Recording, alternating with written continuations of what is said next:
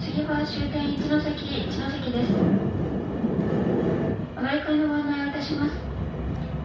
東北新幹線上りはやぶさ小町96号仙台行きは新幹線ホーム12番線から22時29分。東北新幹線下りはやぶさ105号盛岡行きは新幹線ホーム11番線から21時46分東北本線下り北上行きは2番線から22時13分の発車です。